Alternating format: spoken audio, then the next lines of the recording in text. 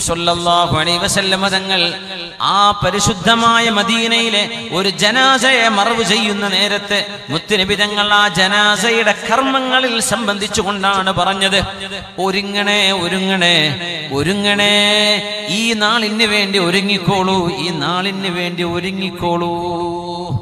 അള്ളാഹു നമുക്കതിന് തൗഫീഖ് തരട്ടെ.